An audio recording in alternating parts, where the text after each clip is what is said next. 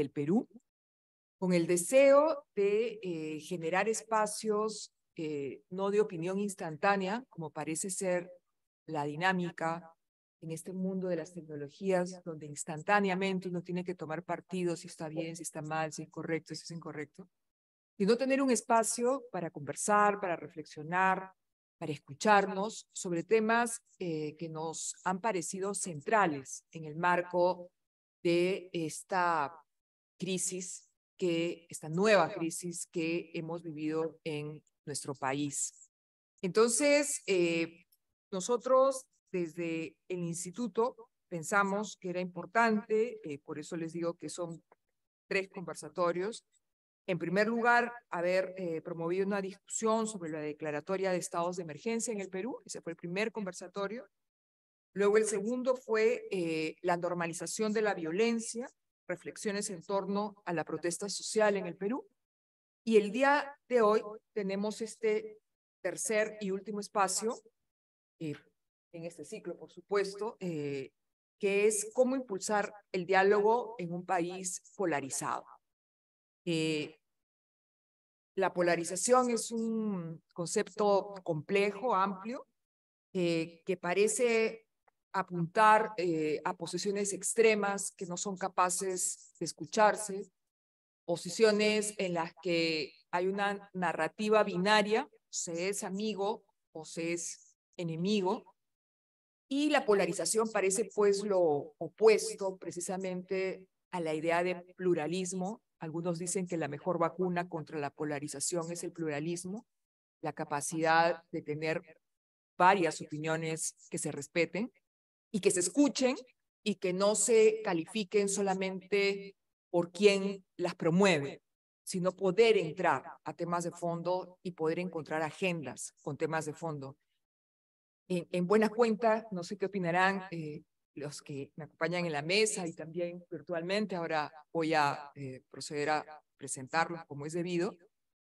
Pero en realidad a veces este discurso, estas posiciones polarizadas, me da la impresión que son una salida fácil para evitar discutir temas muy complejos, muy difíciles, que requerirían mucho más esfuerzo, ¿no? no sé, por ejemplo, cómo enfrentar la pobreza, cómo enfrentar la discriminación estructural en una sociedad como la nuestra, cómo llevar a cabo políticas inclusivas con enfoques diversos. Y es más fácil entrar en posiciones maniqueas, binarias, y evitar entrar a los problemas de fondo. Entonces, eh, en este contexto amplio es que eh, hemos eh, agradecido sobre todo a quienes me acompañan el día de hoy, al profesor Antonio Zapata, que es profesor de historia del Departamento de Humanidades de nuestra Casa de Estudios. Siempre lo leemos, siempre lo seguimos y sus comentarios siempre nos motivan más preguntas. A Adriana Urrutia, eh, quien es, como ustedes saben, presidenta de la Asociación Civil Transparencia y coordinadora de incidencia del Laboratorio de Innovación en salud. Ella es politóloga, no voy a leer toda su reseña, ahí está. Eh, pero también me parece que eh, no podía no estar en este, en este debate, en esta conversación.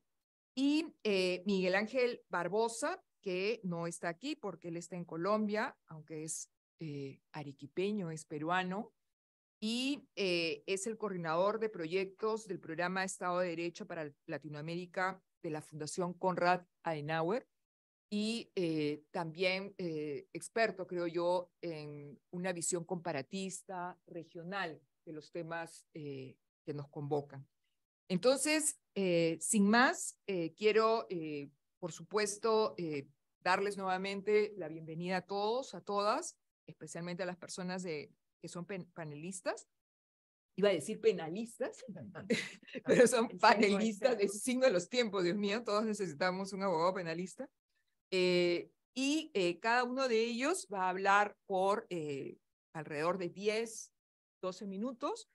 Luego realizaré algunas preguntas y cada cual tiene cinco minutos para hacer un comentario final responder primero a las preguntas y luego hacer un comentario final. Entonces yo creo que sí nos eh, ajustamos bien a los tiempos, tenemos más o menos una hora, diez minutos por delante.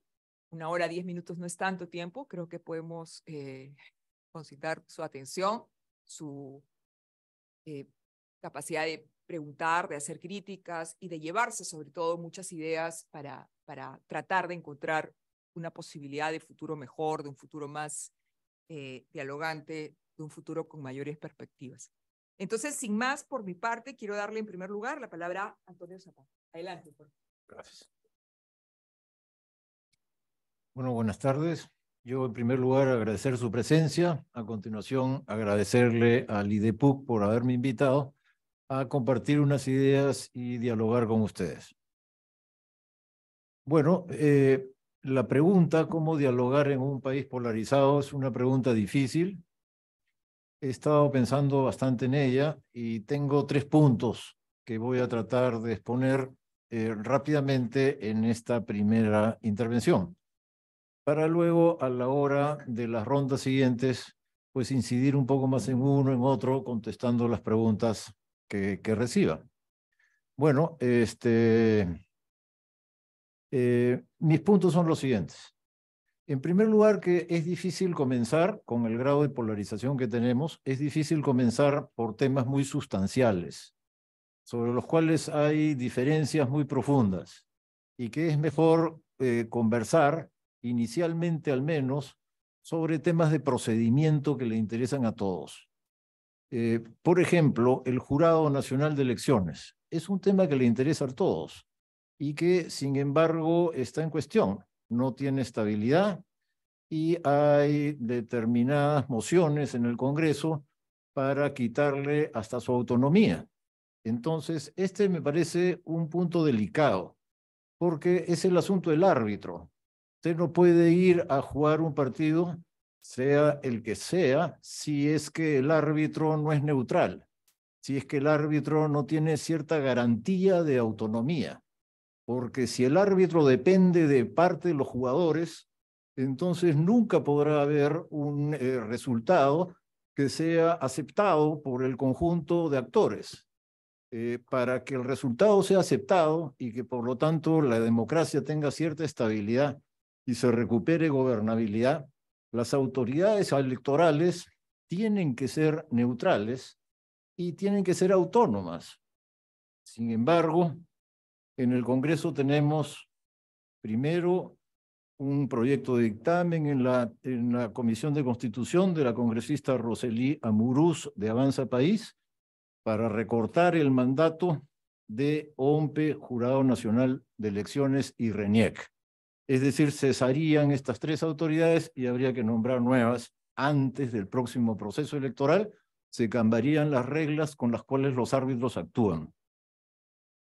Por si fuera poco, la misma congresista Amuruz ha presentado que el jurado y la OMPE podrían ser acusados políticamente ante el Congreso, susceptibles de acusación constitucional ante el Congreso. Eh, bueno, esto es precisamente lo que haría que el jurado y la OMPE dependan de los jugadores. Los jugadores serían los que tendrían control sobre el árbitro. Si esto ocurre, realmente volveríamos al pasado porque así era el Perú, así eran las elecciones del Perú hasta la reforma de 1931. Con la reforma de 1931 apareció el ente Jurado Nacional de Elecciones como ente constitucionalmente autónomo. Y este, ese punto, constitucionalmente autónomo, es importante, significa que no depende de los otros poderes, que una vez que lo nombras, tiene un periodo y ese periodo se cumple, no es posible sacarlo. En el Perú, diversos organismos, como la OMPE también y, otros, el Banco Central de Reserva y otros, tienen esta autonomía constitucional, que es muy importante en países como el nuestro de baja confianza, eh, baja confianza en las instituciones, a menor confianza en la independencia y autonomía de las instituciones y manejo profesional de ellas, a menor confianza, mayor necesidad de autonomía constitucional precisamente para que las instituciones no dependan de arreglos políticos. Hay otros países, por ejemplo, Francia, donde las elecciones las organiza el Ministerio del Interior. En el Perú sería imposible. Si el Ministerio del Interior organiza las elecciones, nadie creería en el resultado. Entonces, es, es en, condiciones como el Perú, donde la confianza es baja, eh, donde se hace necesario que organismos de este tipo tengan autonomía constitucional que está en juego en el Congreso. Si no han terminado hoy en día con, en el Congreso digo, si no han terminado hoy en día con cortarle la cabeza a estos tres organismos, es porque es difícil eh, nombrar a los nuevos. No depende del Congreso nombrar a los nuevos. En el caso, por ejemplo, de la OMPE, depende del de la Junta Nacional de Justicia. Y entonces, por si faltara poco, hay proyectos para cambiar a la Junta Nacional de Justicia. Entonces, por todos los lados en el Congreso, el esfuerzo es por cambiar al árbitro, por hacer que el árbitro dependa de los jugadores, que dependa políticamente de los partidos dentro del Congreso y para modificar la estructura de tal modo pues que este, haya garantía de que el próximo proceso electoral no habrá eh, ninguna posibilidad fuera de esos mismos partidos que controlan la mayoría del Congreso. Entonces, eh, considero que ese es el punto número uno. Eh, no se puede conversar de mucho si es que el árbitro, en este caso el jurado la OMPE, están en peligro de ser politizados de esta manera. Realmente el primer punto de un diálogo es establecer pues la neutralidad del árbitro. Iremos a un juego, las reglas serán las que son, pero quien interpreta las reglas tiene que ser neutral, si no, sacamos poco realmente conversando sobre temas trascendentes. Yo entiendo que son temas trascendentes, hablar sobre la informalidad, cómo se podría reducir, ese tipo de temas me parecen de hondo alcance. Sin embargo, difícil sentarse a conversar en condiciones en las cuales el árbitro está en esta situación, a punto de perder su autonomía, su neutralidad y de ser politizado por el Congreso, como eran las elecciones antes de 1931 y durante un largo periodo en el que nadie creía en ellas. Bueno, tengo un segundo punto, que es este, el de la Asamblea Constituyente. Eh, otro de los temas que tienen que ver con procedimiento es este, ¿no? Asamblea Constituyente. ¿Habrá Asamblea Constituyente o no? Entonces, eh, creo que lo mejor sería convenir que se consultará si es eh, voluntad de la ciudadanía que haya o no una asamblea constituyente. Porque es un hecho que hay un porcentaje grande de la población, lo dicen las encuestas, la que la cree necesaria. Yo personalmente este, no confío tanto, porque no confío tanto en que la modificación de un, de un documento vaya a significar un cambio estructural realmente del país. Por cierto, como soy historiador, sé que han habido 12 constituciones en el Perú y también sé que ninguna ha resuelto nada. Entonces, me inclino a pensar que la 13 no tendrá pues, propiedades mágicas para transformar el país en una o en otra dirección. Eh, por otro lado, América Latina tiene el récord de constituciones en el mundo, más constituciones que ninguna otra región del mundo, y a la vez América Latina, dentro de América Latina, el Perú en número de constituciones está en el cuarto superior. De tal modo, pues, que una más me parece que no va a resolver realmente en sustancia al país, pero es un hecho que, por un lado, mucha gente lo pide, y por otro lado, mirada la Constitución del 93, es verdad que necesita algunos arreglos, ¿no? Si no necesitara arreglos la Constitución del 93, no estaríamos en el enredo político en el que estamos. Estamos en este enredo político porque el presidente no queda claro cuándo puede cerrar el Congreso, no queda claro tampoco cuándo el Congreso puede vacar al presidente. Todo esto es ambiguo y esa ambigüedad es lo que alimenta una lucha de poderes que hemos visto los años anteriores terriblemente desgastante. Entonces, yo no creo que el cambio de constitución vaya a resolver grandes cosas. Segundo, este, creo que la gente lo pide, un porcentaje. Y tercero, creo que merece algunos cambios. Entonces, lo acuerdo en este sentido para conversar también, ¿no? Dialogar en el país sería convenir o discutir siquiera la posibilidad que la próxima consulta electoral incluya, ¿no? Una consulta a la vez si la ciudadanía quiere o no una asamblea constituyente. ¿Tengo tiempo?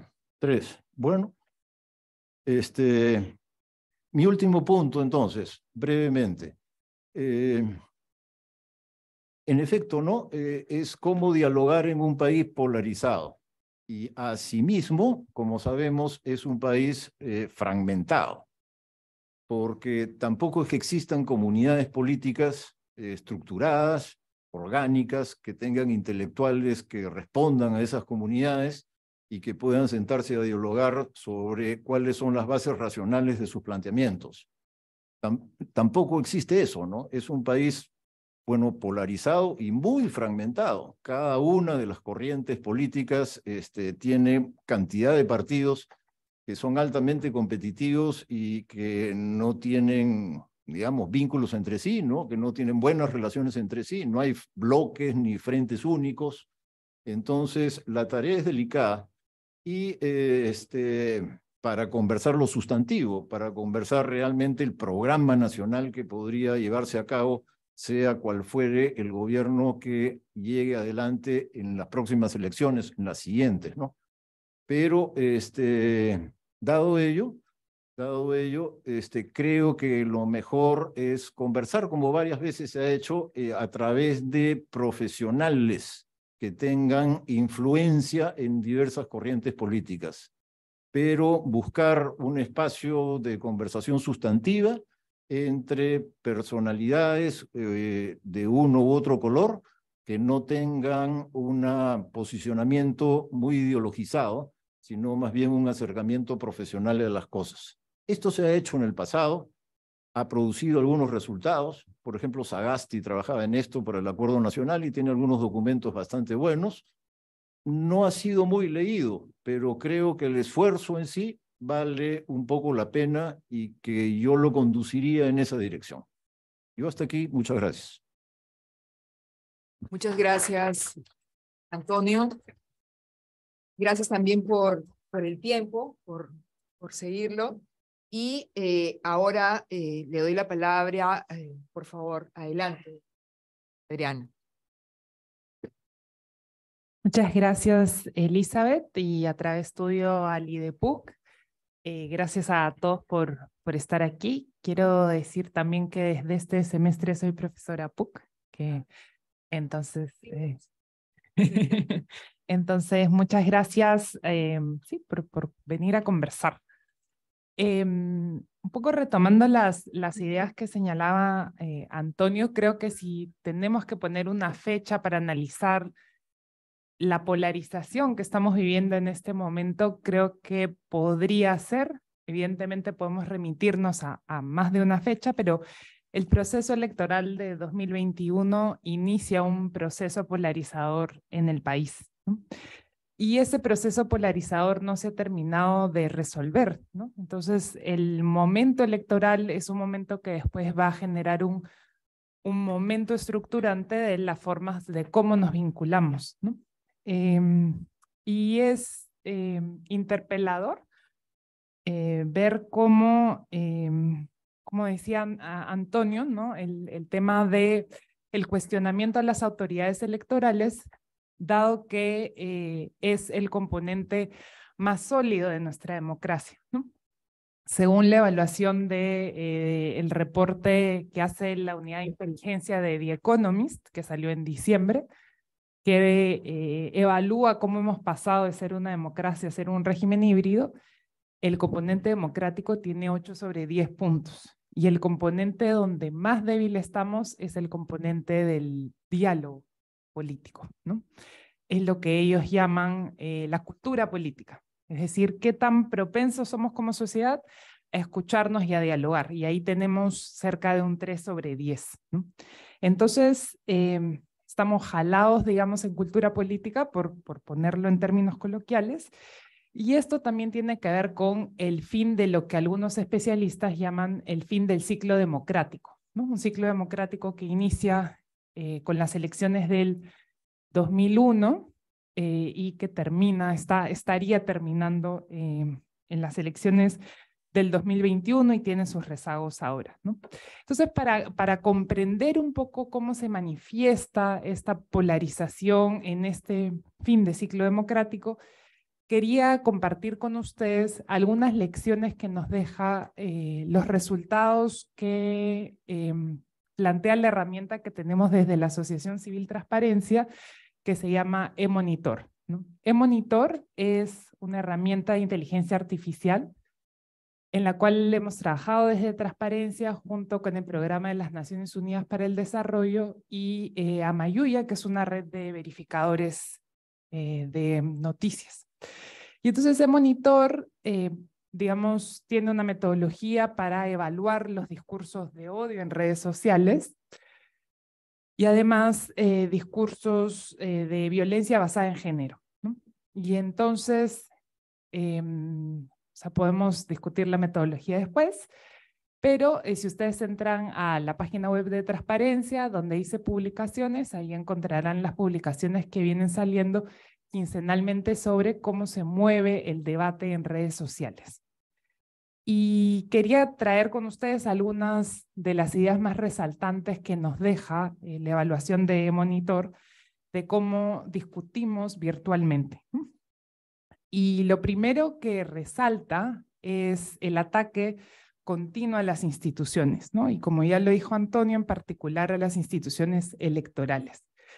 Y esto pone en, peligro, ¿y por qué nos debería interpelar? Porque pone en peligro nuestros propios derechos políticos, en el sentido que se cuestiona quiénes deben ser los guardianes de nuestro derecho político más importante, que es el derecho al voto, pero también el derecho a que se nos garantice la confiabilidad institucional.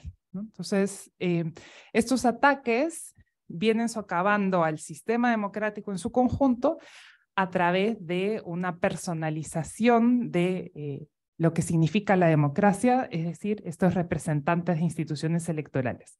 Y en segundo lugar, lo que hemos visto a lo largo de estos meses de evaluación de e-monitor es el ataque a grupos específicos.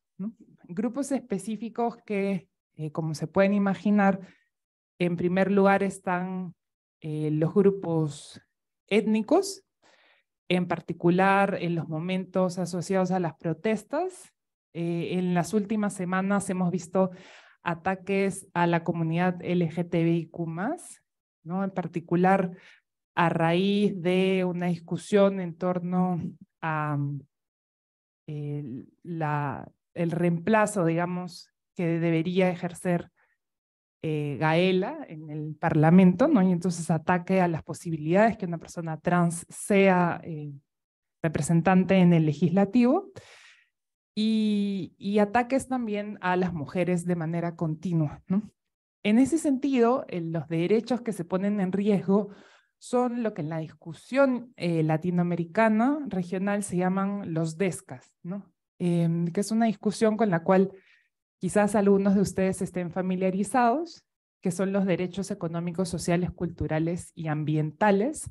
Sin embargo, creo que es una discusión que no ocupa el espacio eh, público a nivel nacional, ¿no? Eh, a diferencia de otros países latinoamericanos, donde la sociedad civil sí discute este tipo de, derechos de manera casi institucionalizada, ¿no? Y dialoga con representantes en el Parlamento para su defensa, ¿no? Entonces, se ponen en riesgo estos derechos.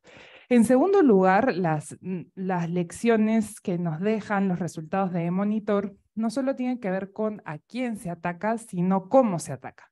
Cuáles son las formas de eh, este odio y de la violencia verbal. Y eh, son dos formas principalmente que tienen que ver con discursos basados en odio y con, eh, como les decía, la violencia basada en género.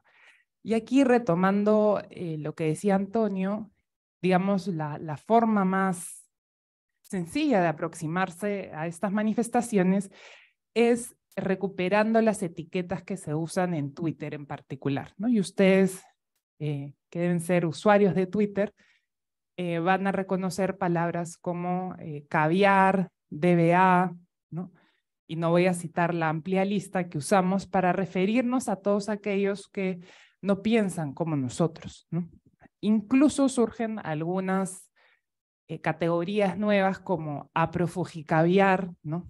Que son superposiciones de distintas corrientes, vamos a decirlo así, y que van acompañadas no solo de una caracterización de quien no piensa como uno, sino de la denigración de la persona que no piensa como uno. ¿no? Entonces, el, la conversación política er, no reconoce la opinión ajena, sino que la descalifica.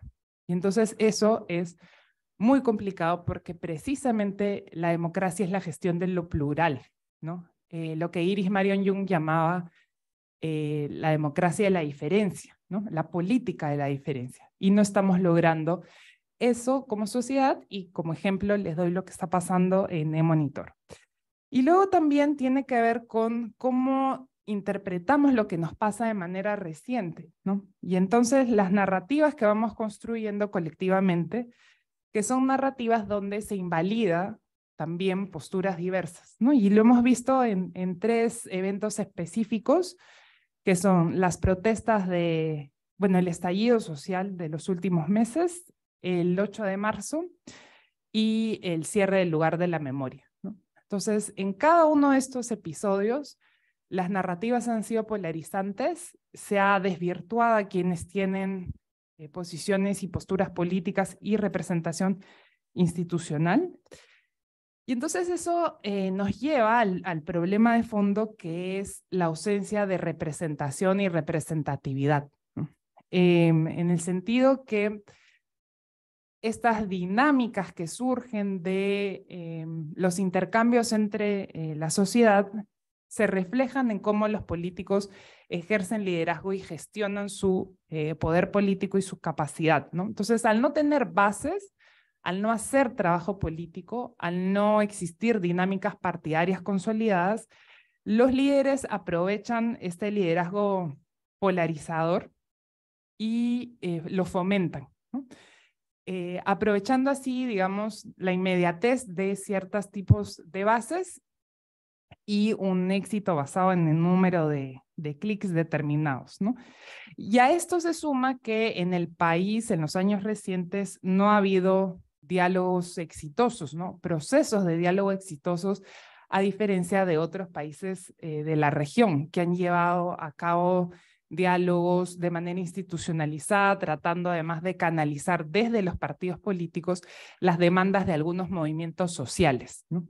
Em, y con eso, eh, lo que quiero decir es que la polarización, eh, digamos, va a seguir creciendo, mientras nos hagan esfuerzos profundos de fortalecimiento eh, de la representación. Y en ese sentido es necesario que eh, busquemos fortalecer aquellas plataformas que permitan representarnos mejor. Porque esa representación, lo que debiera ser, y los partidos deberían ser los llamados a hacer eso, es que pasemos de problemas concretos y muy locales, ¿no? A problemas colectivos y problemas públicos. Entonces, ¿cómo vamos a resolver eh, ahora el brote de dengue? ¿no? ¿Cómo vamos a resolver el fortalecimiento de la democracia? ¿no?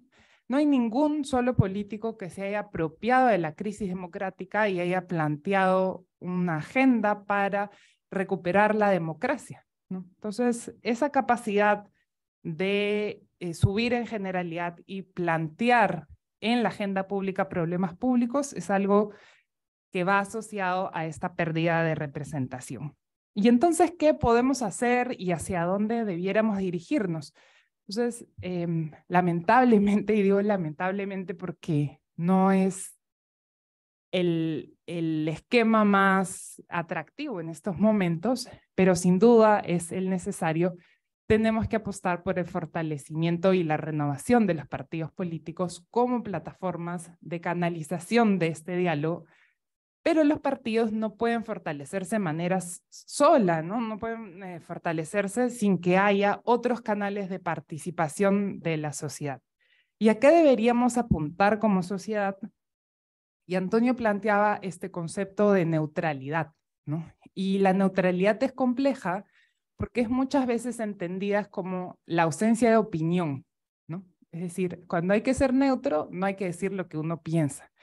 Y yo quisiera plantear aquí que la neutralidad es la construcción de consensos que permitan poner por delante los problemas públicos. O sea, ser neutro es ser alguien que consensúa. Y debiéramos apuntar a generar lo que Joaquín Navajas y otros especialistas llaman los grises confianzudos. ¿Qué son los grises confianzudos? Son aquellos espacios en el debate público en donde los que son blancos y los que son negros se sienten en confianza y generan un gris, que es el espacio limitado que tenemos para ponernos de acuerdo, ¿no? Ese espacio limitado donde vamos a lograr tener temas compartidos de agenda. En el Perú todo es o blanco o negro o caviar o DBA y entonces tenemos que construir nuevas categorías para mirarnos como sociedad de manera colectiva. Muchas gracias.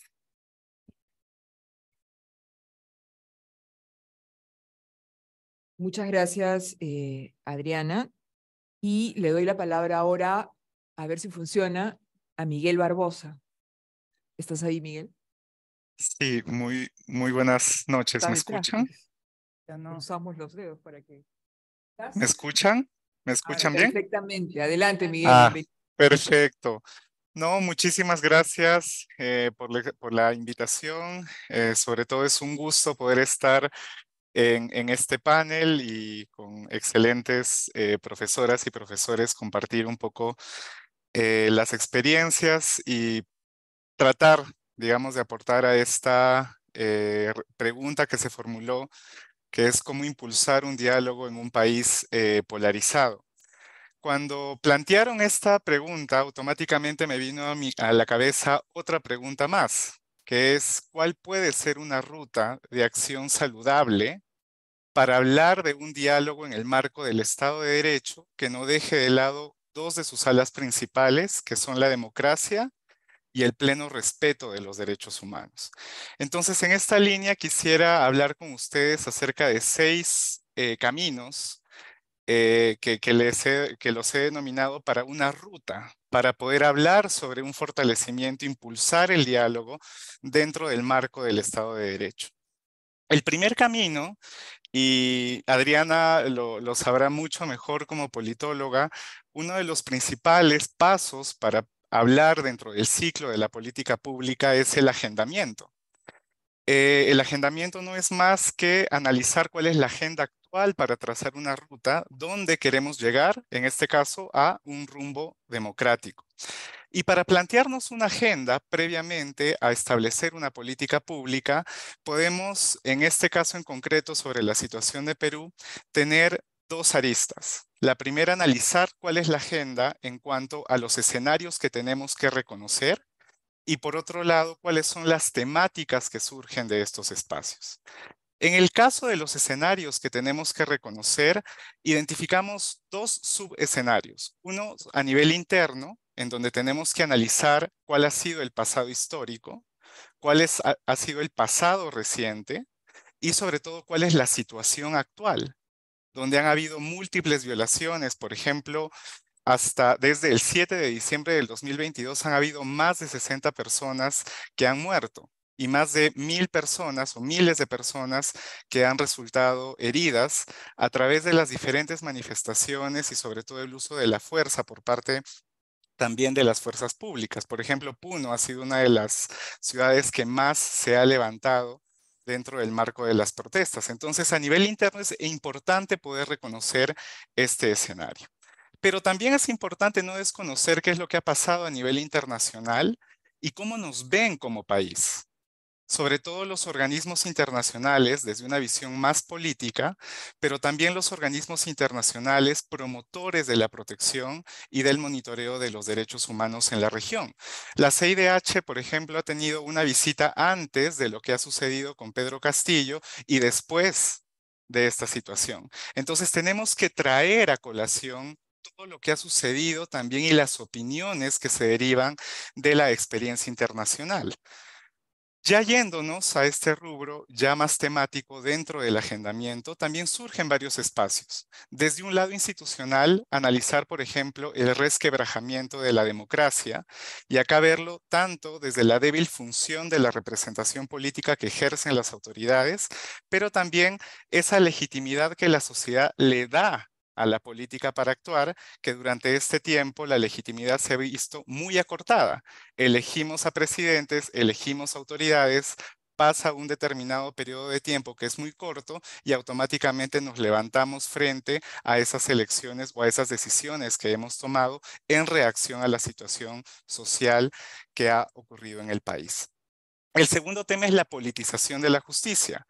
Existe la corrupción al momento de tomar decisiones por parte de los juzgadores. Hay poco control a nivel local, especialmente eh, por parte de juezas y jueces a nivel interno de los países.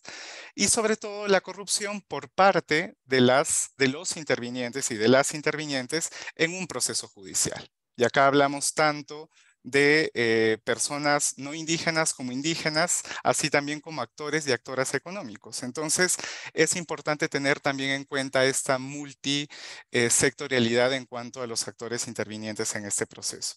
Un tercer punto son los problemas vinculados a la relación con la función estatal y los derechos. Solamente quisiera poner eh, bajo la mira tres temas eh, que he considerado cruciales dentro de todo este proceso.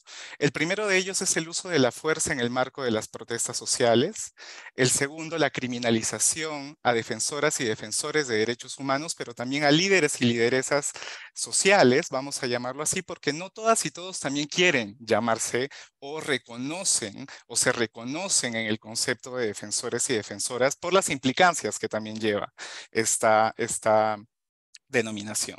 Y por último, los impactos diferenciados de los conflictos para mujeres, niñas, niños, adolescentes, personas con discapacidad, etcétera. No ha habido un análisis de interseccionalidad en cuanto a el impacto que ha dejado la polarización en el país.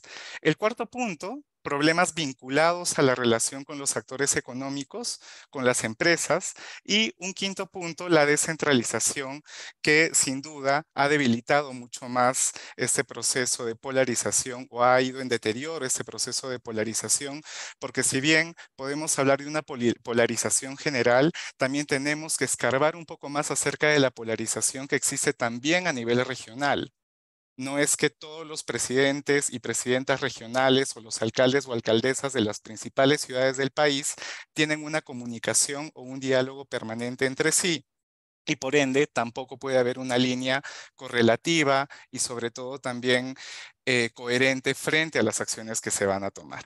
Y ya desde un punto de vista global, para salir de este primer paso, de esta ruta que les quería plantear, están aquellos aspectos globales a los que no podemos ser ajenos. La crisis económica, la crisis política y sobre todo también la relación que ha tenido y cómo se ha visto el Perú frente a diferentes países de la región. Colombia, el presidente Gustavo Petro ha sido muy crítico y ahí les quería poner un ejemplo muy claro. Eh, yo, yo soy residente colombiano hace un año. Pero si, digamos, esta situación se hubiera presentado por un principio de reciprocidad, eventualmente, como el, embajador eh, peruano en Colombia ya no está, eventualmente me, hubieran podido negar también la residencia a mí como peruano en, en, Colombia. Es una situación que se puede dar por reciprocidad, no puedo decir que vaya a pasar, pero últimamente ha sido una política mucho más clara por parte del Estado de responder diplomáticamente frente a determinadas situaciones y no podemos desconocer también la situación con Bolivia, la situación con México, con Chile, con Honduras, con Argentina, situaciones muy tensas, el cierre de la frontera en, eh, Julia, en Puno, perdón, que ha tenido muchas implicancias económicas, muchísimas implicancias económicas y que ahora se va a poder ver un poco más también con el proceso electoral en Bolivia, que muchos dicen que va a volverse a presentar Evo Morales. Entonces, es una situación que también se tiene que tomar en cuenta, no desligar dentro de este agendamiento global la crisis sanitaria y, por supuesto, también la guerra que eh, nos puede afectar y seguramente lo va a hacer específicamente en temas políticos, económicos y también acerca del acercamiento sobre algunos países en la región. Y les pongo un ejemplo. Estados Unidos está tratando de tener algún tipo de intervención en Paraguay para evitar justamente que haya el transporte de determinados productos eh, agrarios, agrícolas, perdón, eh, que produce Paraguay hacia China y Rusia. Entonces, esto evidentemente tiene un impacto regional que también se tiene que considerar y deben de haber muchos más en concreto en Perú.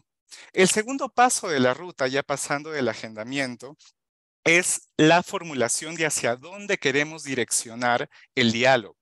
Es importante reconocer que el diálogo para que pueda llegar a ser efectivo tiene que pasar luego de la identificación de estas circunstancias del agendamiento por un fuerte compromiso de transformación, que tiene que ser parte de la cultura estatal. Y acá el gran desafío, el gran problema que tenemos es que el Poder Ejecutivo con el Legislativo no dialogan, hay un gran fraccionamiento a nivel del Poder Legislativo, no hay en mi punto de vista partidos políticos en el Perú viéndolos desde la propia concepción de partidos, sino hay movimientos e incluso hay muchos legisladores que actúan de una manera independiente, que ingresan a través de un partido, pero que luego se desligan. Entonces, este punto también es muy importante. Primer paso, entonces, agendamiento. Segundo paso, compromiso. ¿Cuál es el tercer paso para poder fortalecer el diálogo? Tenemos que partir del reconocimiento de la responsabilidad del Estado y sobre todo de situaciones complejas. Reconocer que también existen situaciones complejas que se presentan, pero todo esto desde un ámbito más público, lo más público posible. Y acá, en cuanto a reconocimiento de responsabilidad por parte de los estados, tiene que haber un relacionamiento directo con las víctimas. Es importante trabajar con las organizaciones de sociedad civil que son mucho más cercanas a eh, las víctimas, pero también el Estado tiene que manifestarse de una manera mucho más directa, tiene que estar los máximos responsables directamente y en permanente diálogo con ellos para que pueda haber digamos, una función mucho más clara sobre este punto. El reconocimiento va ligado a la información. Información adecuada, cuál es la información con la que cuentan las personas sobre una situación en general. Acá hay un gran desafío en cuanto a la brecha de información. Por otro lado, también reconocer las fallas institucionales y de acciones en concreto para su transformación y todo esto se tiene que desarrollar de una manera mucho más descentralizada. Ya el cuarto punto es la acción propia de reconocimiento que nos va a abrir justamente las puertas al diálogo. Entonces hemos tenido dentro de estas tres primeras etapas un diálogo frente a la problemática, dialogar para poder reconocer. Ahora nos toca establecer un diálogo dentro de diferentes niveles, un diálogo diplomático, un diálogo descentralizado, eh, tanto con eh, organizaciones de sociedad civil, comunidades, actores económicos, autoridades municipales, regionales, actores económicos, y también con los diferentes partidos y movimientos políticos que existen en nuestro país. Y ya los dos últimos pasos es, luego se viene el eje, o al menos en este quinto paso, el eje de la transformación a través del diálogo. ¿Cómo estamos enfocando este diálogo para lograr una coherencia política, una coherencia normativa crear mecanismos para poder implementar protocolos para recuperar justamente la confianza de la sociedad a través de la reparación y el reconocimiento de responsabilidades, la reorganización de las instituciones públicas para que haya justamente mayor capacidad y control y por último, mayor control también a los actores económicos que no han sido ajenos a esta problemática política. Y finalmente una reflexión respecto a estos tres diálogos, tanto el diálogo de apertura a través del agendamiento, el diálogo frente a la polarización y el diálogo para establecer rutas y reconocer responsabilidades, es un concepto que eh, he tratado de ir eh, desarrollando un poco más porque a veces cuando hablamos de Estado de Derecho únicamente pensamos que las instituciones públicas son las que nos van a marcar la orientación para poder tener un Estado de Derecho sólido. Y en realidad también existe la posibilidad de fortalecer el Estado de Derecho de abajo hacia arriba.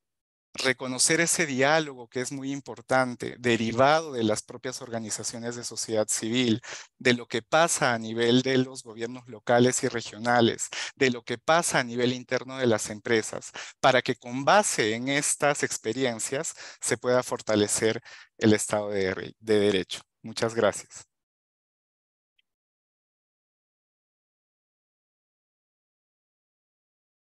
Muchas gracias, Miguel, por tu participación. Estaba yo aquí desesperada porque no sabía cómo avisarte el tiempo, pero felizmente terminaste a tiempo, así que te agradezco mucho también por eso. Eh, creo que hemos escuchado eh, tres eh, intervenciones distintas.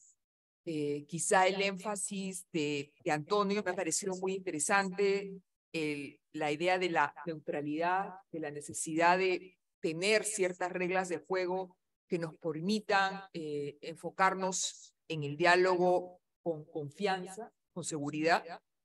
Eh, Adriana, eh, y creo que allí apuntas a, a un elemento que normalmente se plantea cuando se habla de polarización, que es el tema de la necesidad de reformas legales e institucionales. E, en nuestro caso, quizá más que reformas legales, lo que queremos es que no se reforme las cosas que van bien para poder tener alguna esperanza de, diálogo sincero. Eh, Adriana creo que ha apuntado eh, de manera muy interesante al tema de las narrativas alrededor de la eh, polarización y de cómo estos discursos de odio, estas sociedades de la desinformación, desinformación en la que vivimos, en las redes, donde parece que no, se nos empuja a ciertas posturas y uno está en un bando o está en el otro y parece que un espacio intermedio, estos grises confianzudos que tú decías, me gustó muchas, mucho esa expresión, eh, parecen imposibles de lograr, parecen imposibles, no, no hay sitio para eso. Y Miguel creo que eh, apuntando eh, al tercer elemento, parece que, se hubieran eh, justo puesto de acuerdo sobre esto, que más que las, eh, reformas institucionales, legales, lo que debe mantenerse, más que las narrativas, el entrar por otras voces, cómo mm, moderar esos, esos discursos de odio, Miguel nos plantea toda una ruta acerca de los esfuerzos de diálogo, cómo deberían darse, cuáles son los pasos que hay que seguir, etcétera.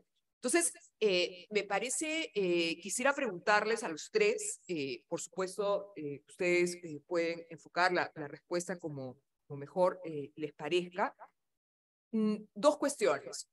Una primera es, ¿qué papel juegan los derechos humanos en, en este deseo de, de construir la polarización y construir un espacio de diálogo que nos permita seguir existiendo eh, como sociedad.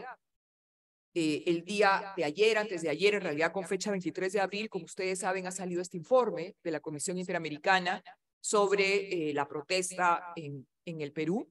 Y más que invitar a leerlo, lo que han hecho nuestras autoridades es inmediatamente descalificarlo, decir que es un informe injerencista, que ya el Perú evaluará qué cosa de allí eh, le interesa o no le interesa, tratando de minimizar eh, la herramienta que significa ese informe en términos también de esta reconstrucción del diálogo. Entonces, desde mi punto de vista, en realidad, y me permito decirlo, yo creo que los derechos humanos pueden ser vistos como la afecta, eh, los efectos de una polarización totalmente exacerbada pero al mismo tiempo los derechos humanos no solo deben verse como consecuencias nefastas de la polarización, sino también los derechos humanos eh, son una garantía de evitar esa polarización o de volver a construir algo que no sea la polarización, estos espacios de diálogo. Entonces, a mí me gustaría escucharlos un poco porque finalmente eh, creo que eso es un tema tremendamente importante en este país donde a veces hablar de derechos humanos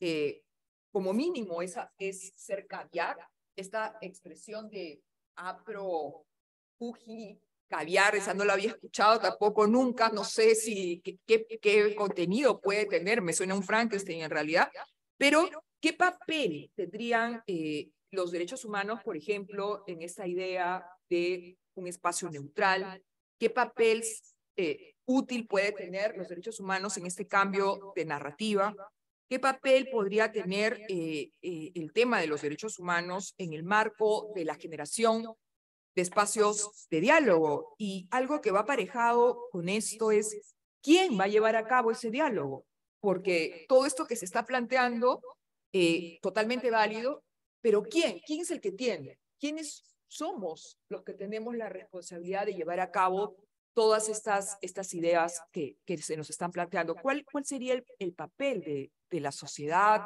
de las autoridades, de las universidades, de cada uno de nosotros? Antonio, por favor, como tú desees. Ya, ok, gracias.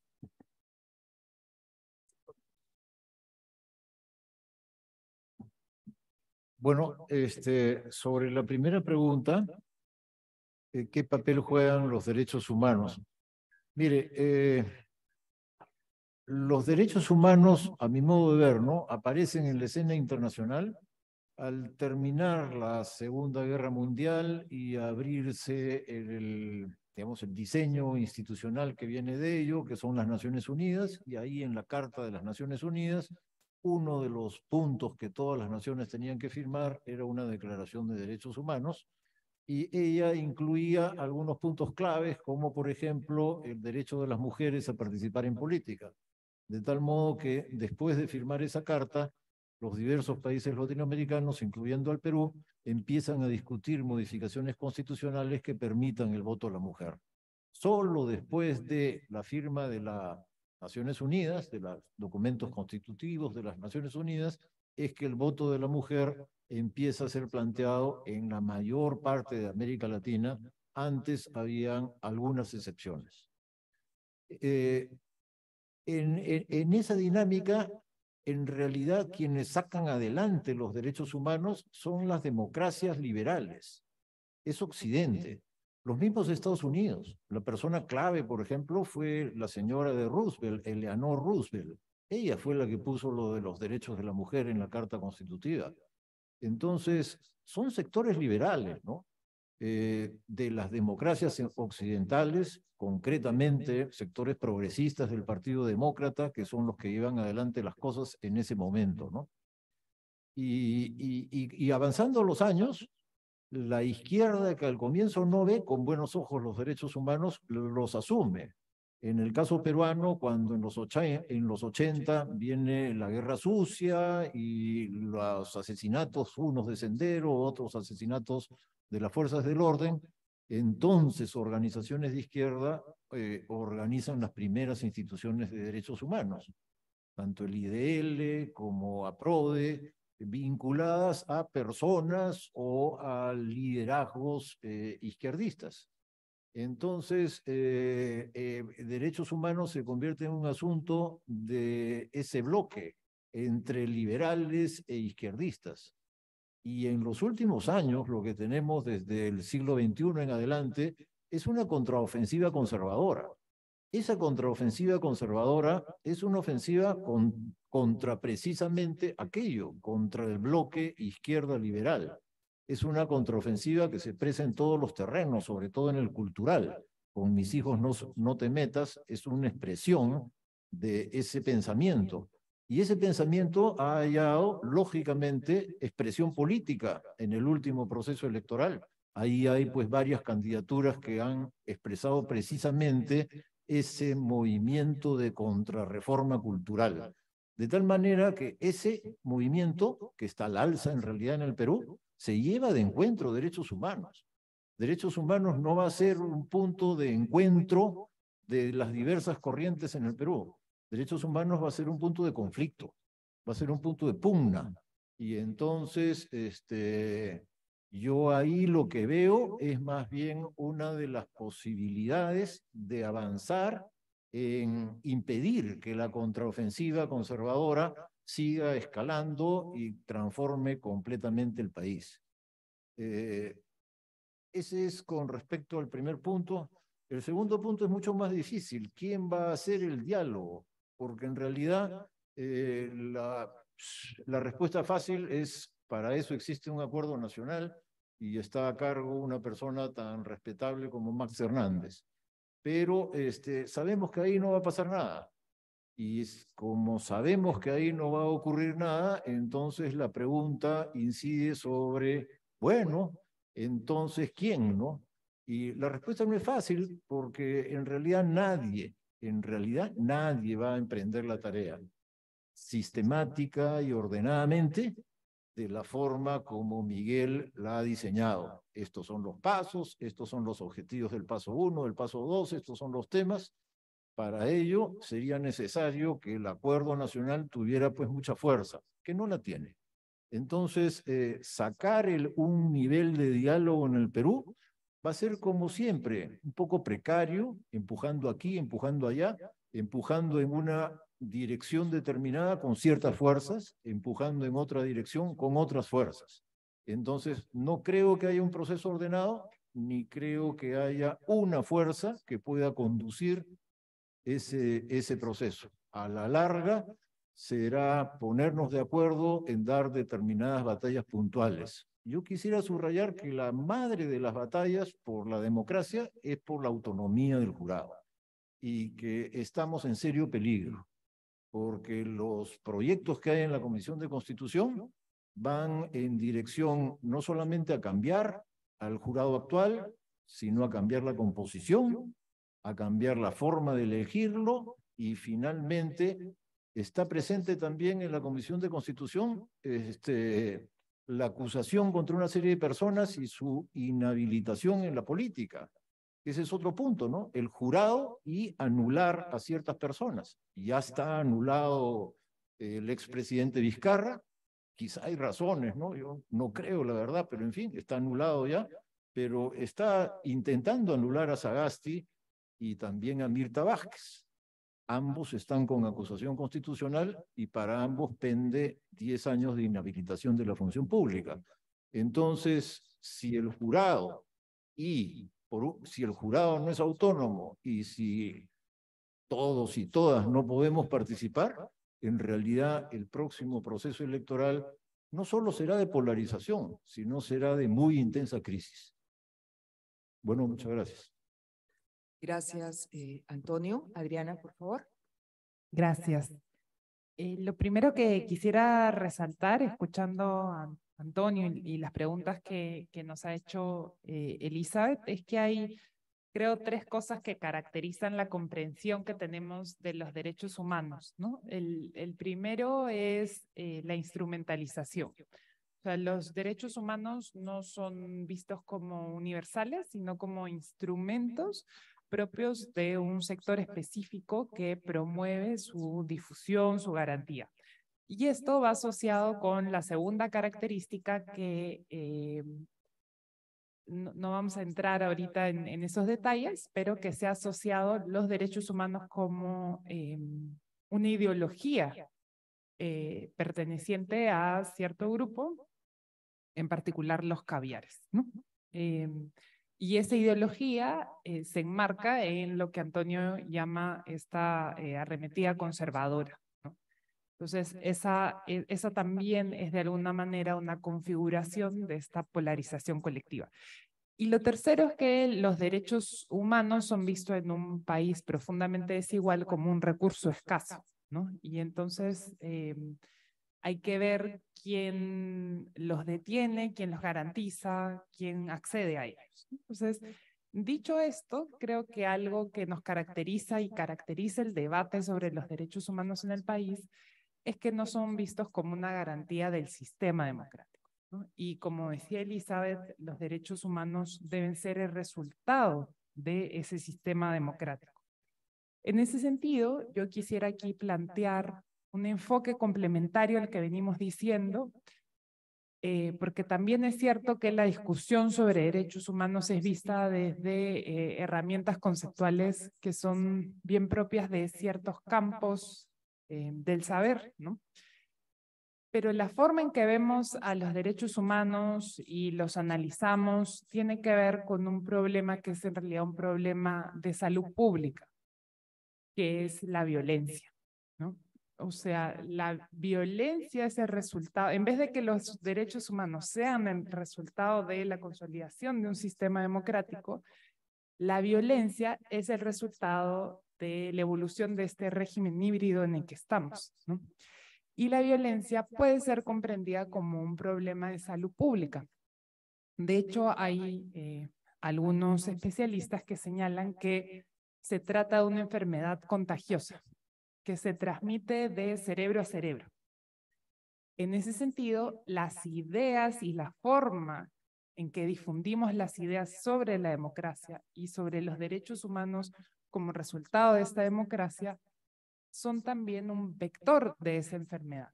Entonces, si nosotros decimos los derechos humanos son la ideología caviar, estamos ahí transmitiendo un discurso violento que pasa de cabeza a cabeza y de esa cabeza a cabeza se va, se va propagando ¿no? en la sociedad. Y en ese sentido, lo que deberíamos entonces para frenar, ¿no es cierto?, eh, la expansión de esta enfermedad contagiosa es discutir eh, las ideas sobre por qué necesitamos una democracia y que la democracia no es negociable. O sea, el día de hoy pareciera que, sí, bueno, hemos pasado a ser un régimen híbrido, pero bueno, ¿por qué no? ¿No?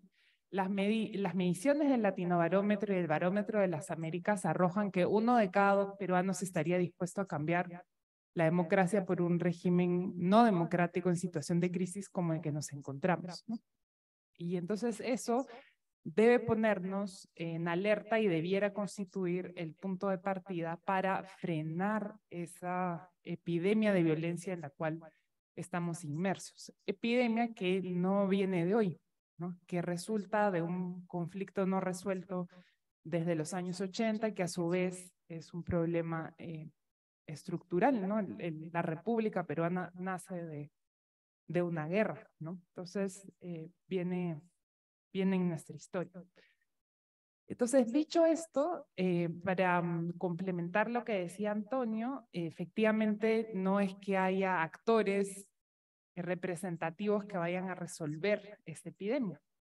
Y por ende nos corresponde a nosotros como ciudadanos empezar a reflexionar sobre nuestro ejercicio del diálogo. ¿Qué tanto compartimos noticias eh, violentas o que no conocemos la, fuente? ¿Qué tanto replicamos discursos eh, que basados en cualquier sea el, criterio, ¿no? Puede ser eh, a veces que uno dice, no, es que yo estudio en una universidad. Entonces, por, por pertenecer a un ambiente académico, discriminamos quizás eh, otras ideas, por dar un ejemplo como cualquiera, ¿no? Pero desde dónde nos ubicamos nosotros para analizar, comprender, escuchar, qué tanto escuchamos a los demás, ¿no? Eh, y en ese sentido, creo que si bien va a ser muy complejo en este momento la institucionalización de esas fuerzas que organicen el debate público, sí podemos nosotros, desde nuestro ejercicio individual, frenar esta epidemia de violencia, porque lo que necesitamos ahora es comprometernos todos y cada uno con la defensa de un sistema que si bien no es perfecto, es el que mejor nos va a permitir defender y garantizar nuestros derechos. Muchas gracias. Gracias, eh, Adriana. Y finalmente, eh, Miguel, eh, tienes también cinco minutos. Muchísimas gracias. Eh, y bueno, no sé si me escuchan bien ahí para, para poder empezar. Sí, perfecto. Eh, yo tenía tres puntos eh, para abordar. Estoy completamente de acuerdo con lo que han señalado tanto Antonio como Adriana. El primer punto es, los derechos son una esencia. Los derechos humanos, lamentablemente, pese a ser una esencia que no toman partido por ninguna posición, más sí toman el partido por la dignidad, han sido mercantilizados incluso a nivel eh, del sistema interamericano. Y acá yo me quiero eh, explicar un poco más, ya entrando un poco desde la elección propia de quienes son los vigilantes o las vigilantes de, eh, del el poder también interpretar justamente los, tratados internacionales, el, el poder ser formadores de decisiones que posteriormente se van a convertir en jurisprudencia. Entonces hay que tener cuidado con quienes vigilan estos derechos humanos, partiendo de que tanto los comisionados, comisionadas, jueces y juezas tienen también de alguna u otra manera una posición política frente a los derechos humanos que van a tratar de promover o van a tratar de avanzar a nivel interno de estas instituciones. Eso lo hemos podido ver hace muy poco cuando uno entra a esta iniciativa de, la organización CEGIL, que justamente monitorea el proceso de selección de comisionados y de comisionadas que está muy próximo a suceder, como muchas candidaturas se han ido retirando. Y las candidaturas se han ido retirando justamente porque también los candidatos y las candidatas no han tenido necesariamente una afiliación política frente a algunas posturas de algunos estados eh, democráticos. ¿Sí? Entonces, es muy importante ser muy, muy cuidadosos con quienes vigilan los derechos humanos tanto a nivel nacional en cuanto a la toma de decisiones de a quiénes van a seleccionar, como también a nivel internacional de cómo se van a ir dando eh, estas posturas. Hablamos hace muy poco también con Pablo Saavedra sobre eh, la forma en la cual las decisiones de la Corte Interamericana de Derechos Humanos, especialmente las secciones eh, propias de reparación, pueden también un poco dar mayor orientación a los estados, especialmente en estas situaciones, para poder tener una hoja de ruta un poco más clara de cómo poder fortalecer sus sistemas democráticos.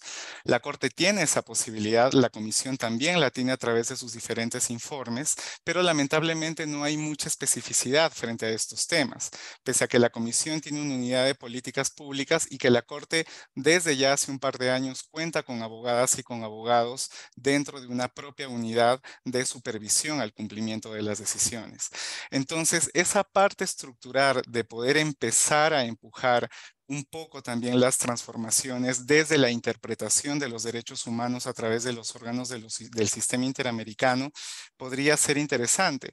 Y ahí yo concuerdo plenamente con lo que Antonio ha señalado en cuanto a que no hay, digamos, como una ruta única o un parámetro único o un modelo, digamos, que se tiene que seguir para todas las situaciones. Em, esto va a definirse y va a variar conforme a la situación política y democrática de cada uno de los países.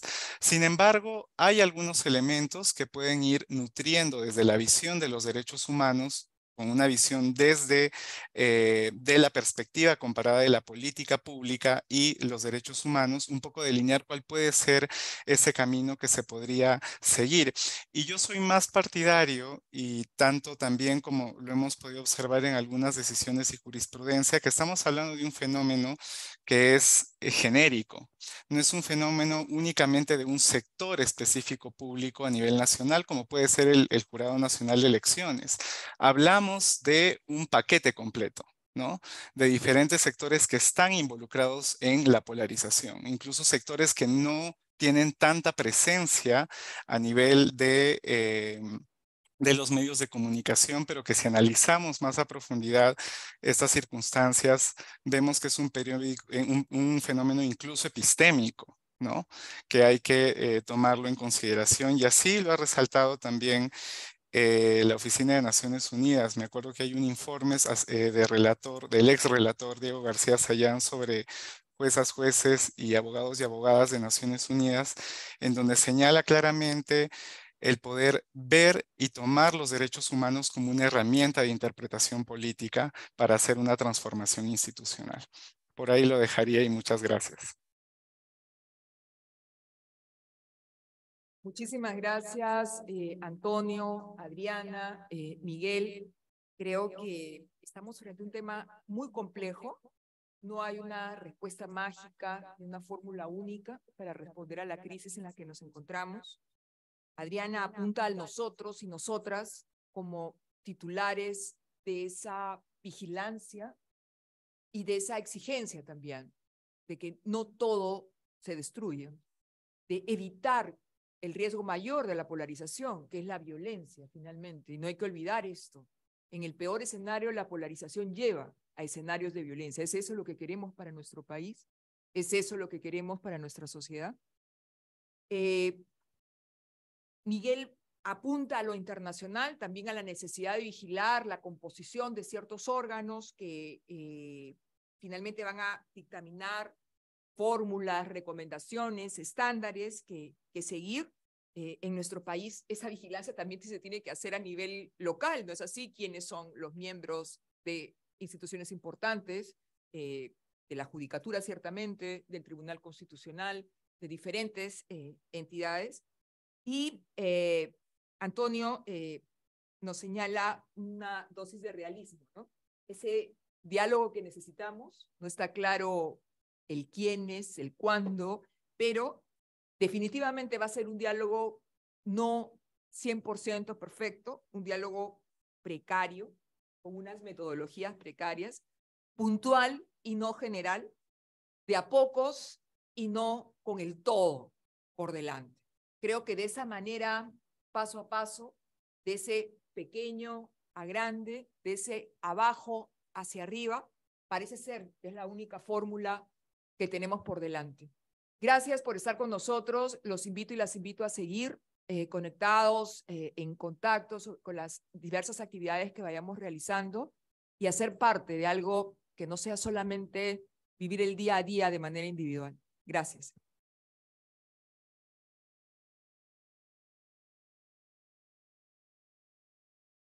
Gracias. Muchas gracias.